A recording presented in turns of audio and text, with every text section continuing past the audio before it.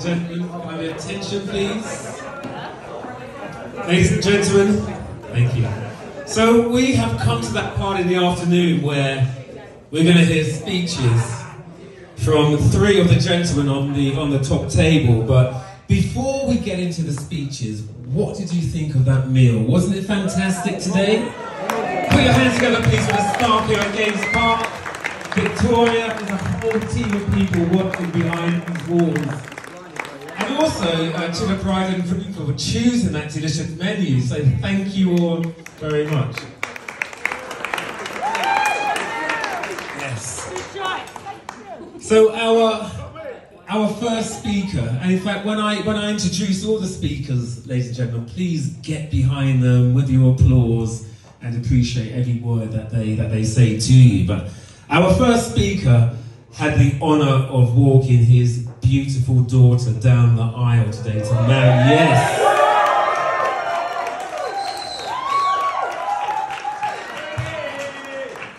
To marry the love of her life, ladies and gentlemen. Please put your hands together. Let's welcome Frank.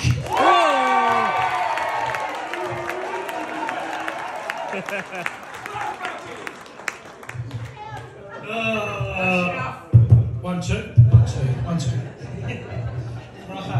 Uh, ladies and gentlemen, uh, thank you all for coming today.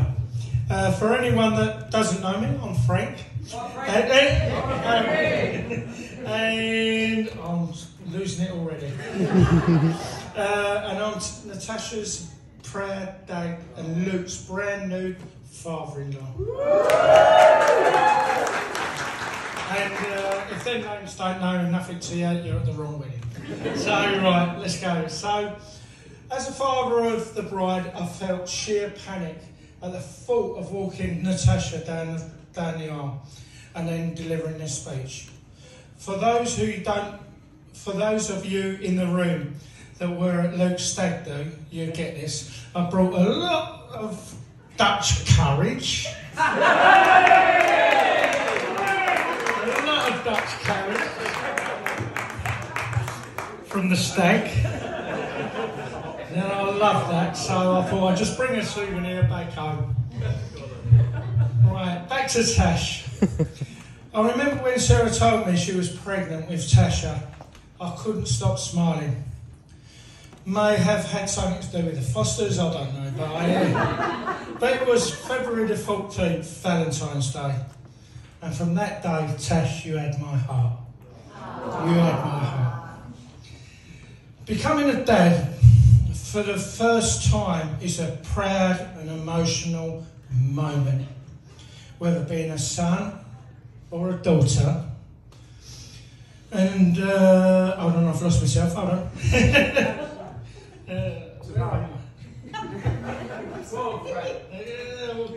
so, uh, becoming a dad,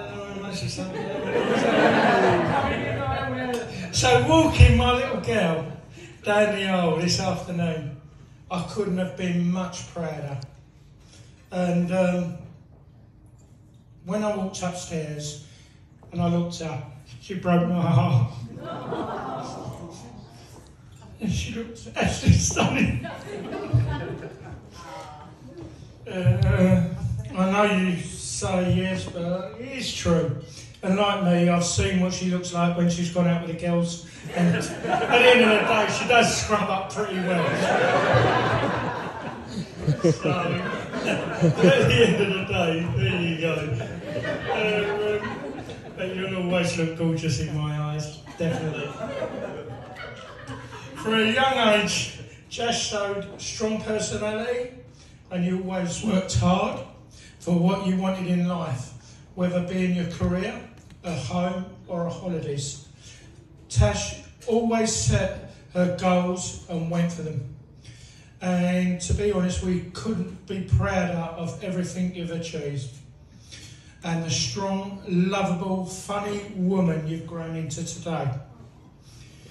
We love you lots and lots and lots and wish you both much happiness. I remember meeting Luke for the first time and thinking what a remarkable man he was. I've got poles, I've got poles. and you could see how much he loved Tash. I had a great chat, chat with him and distinctly remember us chatting about he was supporting the wrong football team. Uh, um, I also remember Tasha suggesting he moved, he moved in for nine months and so they could save for somewhere to buy. So after three years later,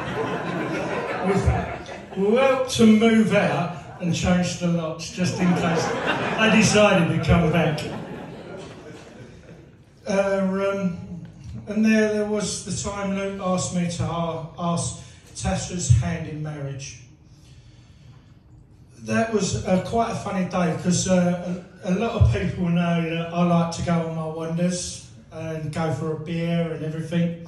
And we was in a lovely sunny area abroad and all I wanted to do was buy a bag of ice. And um, Luke went, I'm coming. I went, no, you're all right. He said, no, I'm coming with you. I said, no, you don't need to come with me. You're all right. He come along and uh, he asked for his hand in his, uh, his hand for marriage for Tasha, which to me is great family values, which is accommodation for Bill and Jeanette, which is absolutely fabulous.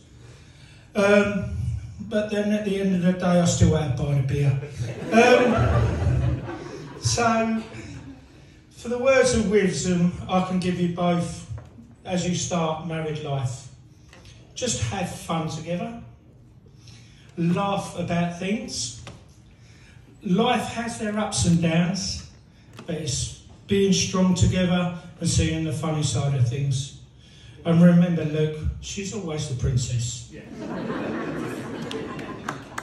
Tash, I'm so proud of. Uh, I'm so proud to be your dad, and it's great to be a great pleasure to welcome Luke into my family. And yes, Luke, I'm officially your father-in-law. so, ladies and gentlemen, would you be upstanding? Hold on. Hold on. There's the oh, first.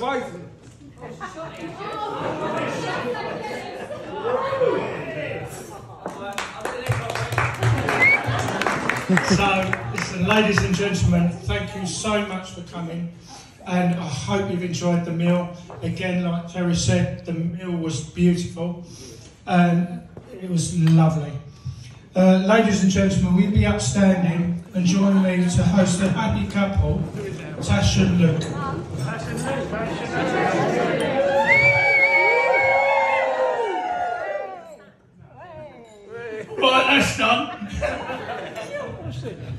Ladies and gentlemen, come on, let's hit a very proud, emotional father of the bride.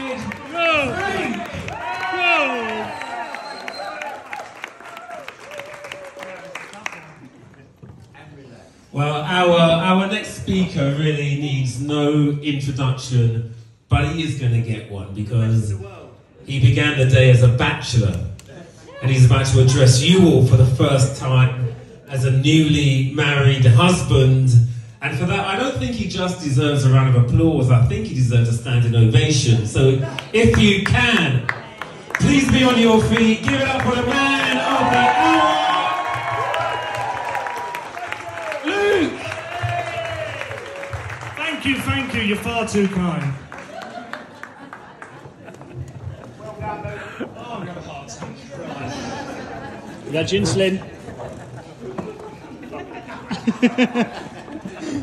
Firstly, can we all agree how beautiful my bride looks today?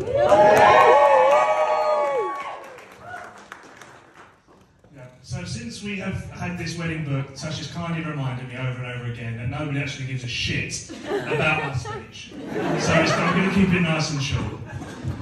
And I can also imagine that actually most of you are shocked that I'm not doing this speech from the toilet in there, since I spend half of my time on the toilet. Now, so for everyone here, I've go under many names, it seems. Luke Scouse, and most famously, Machine Gun Lukey, number one rebirth player in the world. Thank you very much. Thank you, Big Daddy. Thank you very much.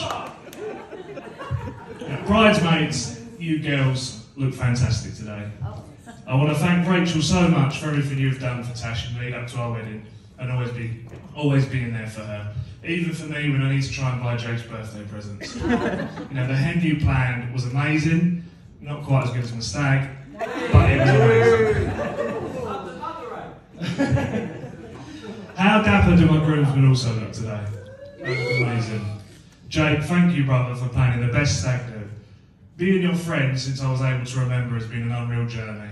Who would have thought that we would both be getting married four weeks apart from each other? I just want to remind you that whatever you say today might come back to bite you at your wedding. Since me and Dodson are going to plan an amazing speech. I want to thank my mum and dad who look absolutely amazing today. Especially you thought. Especially my dad. I want to thank you for raising me in the right way to be able to one day call someone as beautiful and kind and thoughtful as Tash as my wife. Thank you for always being there no matter what for us at a drop of a hat. This really does not go unappreciated. And I know you both are losing your memories with old age. so I really hope, as you both are recording this, to remember what I said. Frank and Sarah, thank you for everything you've done for me and Tash since we've been together also. Thank you for also letting me live with you guys for three years, and like Frank said, he only thought it was going to be a few months. Thank you for bringing into this world my dream girl and raising her to be the special lady she is today. I have to also add, Sarah, there'll be no music battle between me and you tonight, as there always is when I come round. I also want to thank Gaynes Park for hosting the most amazing wedding, and I want to thank the chefs for the most amazing food you've put on today. I think they all deserve a round of applause.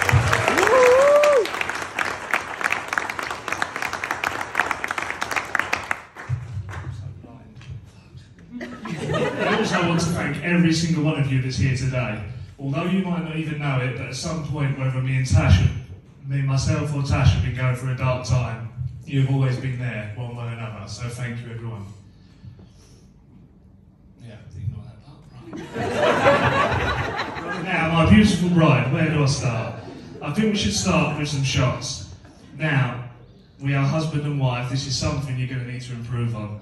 You are very well known for either sipping your shots or giving me the other half. So I've got us two shots to start our marriage the right way.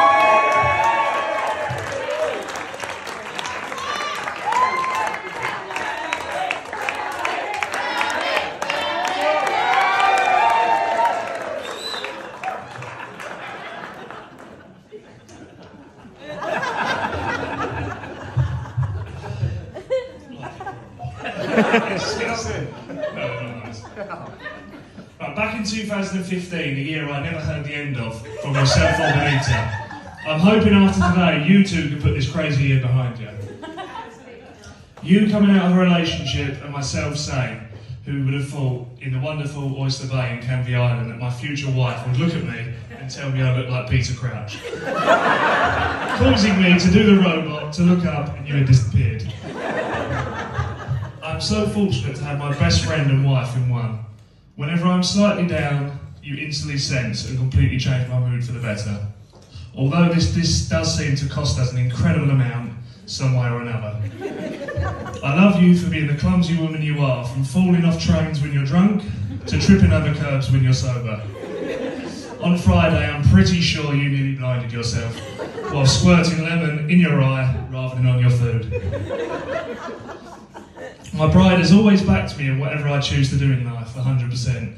Whether that's taking a risk, taking a new job, or becoming a pro golfer, which after my last round, Jake, I'm pretty sure you can uh, you can agree that that's going to happen. Or or whether it's becoming the number one rebirth player in the world. Thank you very much, Danny. Can you agree? You can agree. Thank you very much, Will. You know, Tash, you've always been my number one fan, and for the rest of my life, I will always be yours.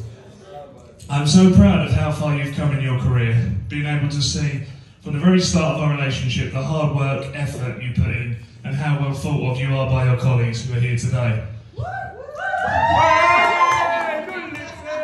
It's been a pleasure celebrating every promotion you've got. I cannot wait to be a house husband soon. you carry on getting involved.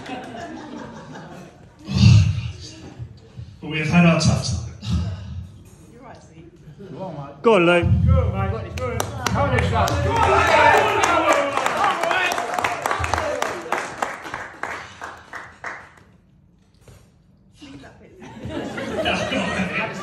But we've had our tough times, and I know you said you don't want me to bring it up, it's a huge part of our lives together.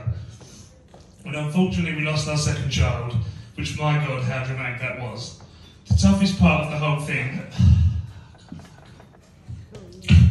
was walking away with your engagement ring in my hand, not knowing if I'd ever see you again. Can't even say. Go on, mate. You're all right. You go in. Come on. No, I loved you a hell of a lot before this happened, but I feel like since that moment you was nearly taken away from me. My love for you has reached new levels I did not know could exist. However, it was not all doom and gloom, as we now have one child, which for as long as you know he is in our lives, he will be the only child. And for those that don't know, that is our Pablo. And to be honest, it has cost us more than a child so far, I'm sure. So on that note, can we please raise a glass for my beautiful bride, and please raise a glass even higher for Audrey and Jack, who are watching from above, and I know they'd be so proud of you right now. Cheers. Cheers. Well done, Luke.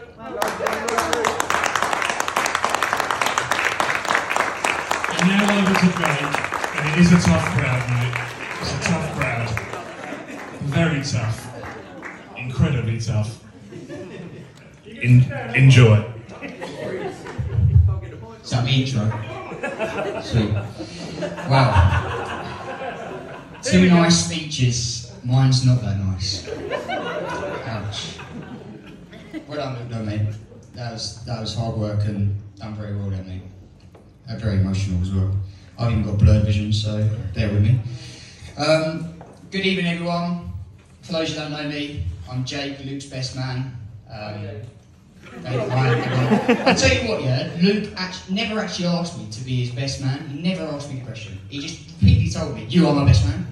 So I actually had no choice. He might regret it in five minutes' time, though. Um, before I check some truth about Luke, um, can we just appreciate the bride today, Tasha? You look absolutely amazing. I tell you what, picturesque. If you could ever paint the bride, that picture of you and Frank walking down the aisle, that is it.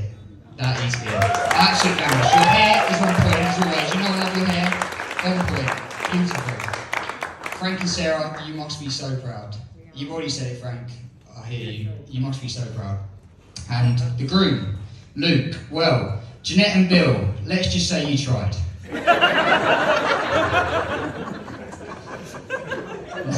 Look dapper as ever, mate. You're tucked. Look at it. Unbelievable. You look a million dollars today, mate. I'm jealous. Also, I wore the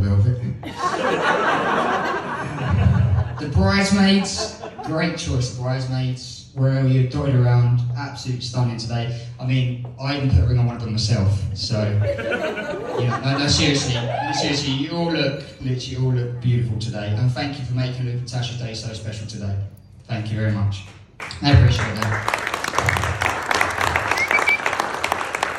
The groomsmen, where are you all? All dotted around again. Legends, absolute legends. Thanks for keeping us in check and drinking all the alcohol.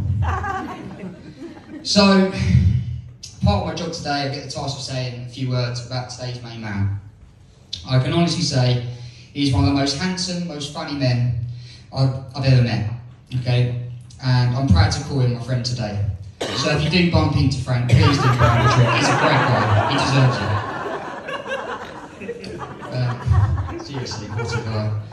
Um, no, in all seriousness, I've known Luke now for 28 years. It's as long as I can remember. Um, we've been play school together, nursery together, infants together, juniors together. Sleeping together. We actually used to, yeah. The heaters, midnight, Jeanette will bring him in the room, playing video games, yeah. Sleeping, I don't think we actually really slept much, did we, really? But yeah. And um, we went to seniors together for a short while until he farted in a maths class and had to change schools. It's a story for another time. But I can tell you if you want to. Uh, seriously, he had to change his pants and the school. Um, True story. True story. No, it, it's just it's safe to say that we basically speak to each other every day. I think that's safe to say, isn't it? To Tasha, it must be like having a third person in relationship. Yeah. Someone, someone obviously agrees. Um, I mean, she must have known it wasn't a coincidence that Luke actually wanted his wedding on this specific weekend, which, as it happens, is the closest weekend to my 30th birthday. Double celebration of that. Luke, great job. Great job, mate. Love it. Tuxedo for my birthday. Brilliant. Absolutely love it. So, I remember when Luke first met Tasha. In fact, I was actually there. And yes, she did say you look like Peter Crouch. And two, he did do the robot. And three, he did walk, she did walk away. now Luke. Bloody hell. So growing up, Luke has had the nickname Scouse, so I've called him Scouse all the time. So if you hear me shout Scouse tonight, yeah, it's probably me. Um, and if you're, off, you're thinking why, I mean, have you spoke to his old man? and I mean, you know, yeah, exactly. I mean, growing up from the age of 6 to 15, I don't think the geezer left his house without wearing something to do with Liverpool or kicking a football or any object without shouting Gerrard. True fact? Very true. Yeah. So our journey as best mates has been awesome. Plenty of memories. We've been on holidays, weekends away, nights out, and many more. Uh, which is where some of our favourite memories have come from. I mean, I'll never forget our first lads' holiday, which is to Napa. Um, being 18 years of age, or just turned 18 years of age, I don't, I don't think all of us were 18. Um, thinking it would be cool to buy a bottle of champagne on the plane, as you do. Probably spent half of our spending money. Um, but consequently losing one of your teeth while sipping the champagne on the, the plane. He thought it was hilarious. I was like, oh my god, first lads holiday, you are not pulling. Um, he then flicks his tooth down the plane, which hits the passenger's head in front of him, bounces off his head and lands back in his champagne. Seriously, how's your luck? How is your luck? Seriously. Um, like I say, growing up, it, we just bounce off each other. I think if anyone knows us well, people look at us and what the hell are they talking about? We just literally, I don't know, in our own world mainly just daring each other, or really me daring you to do things, and you probably actually do it as well. Um, I never get bored of watching him just unexpectedly bombing in every swimming pool he sets his eyes on while shouting cheers. Even including my two foot swimming pool or paddling pool in my garden.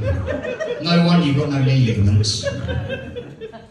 So, growing up as a teenager, we practically lived on our bikes, as you do. Um, I'll never forget the time when someone videoed him launching his brand new bike into a bush, which then appeared on Facebook and his mum finding it somehow. And then him going home and denying to his mum endlessly that it was not his bike, it wasn't his bike. Jeanette, we're sorry it's taking this long, it was his bike.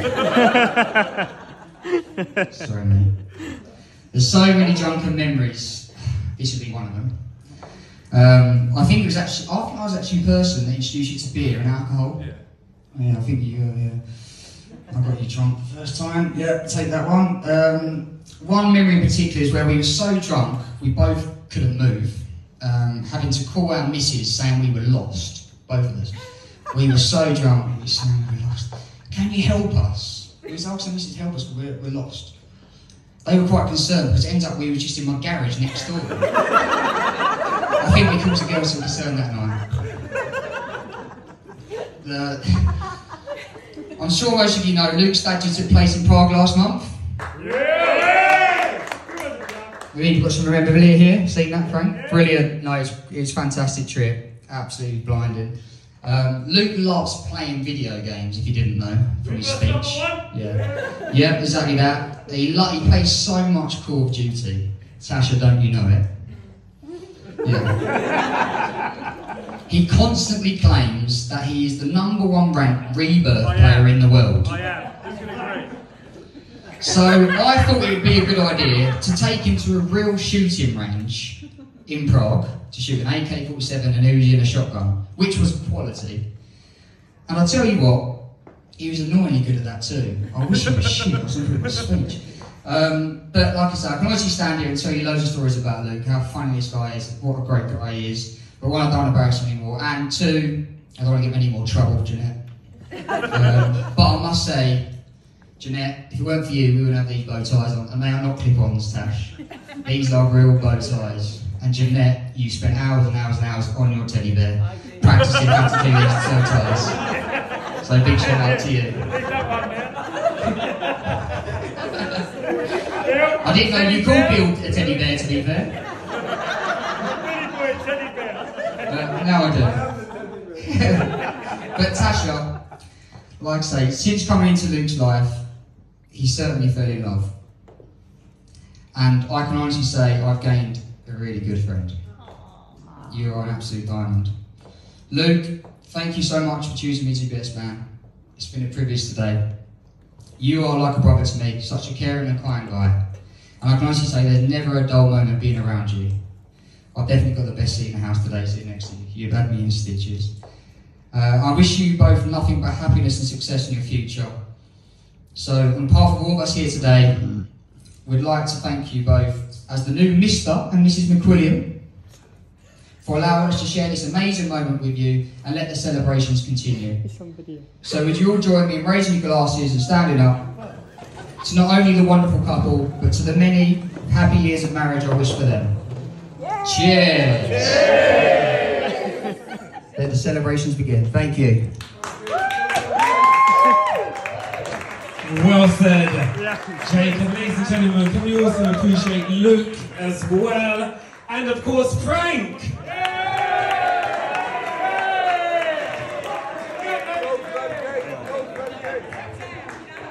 Hang on, hang on. Yeah, I know, yeah.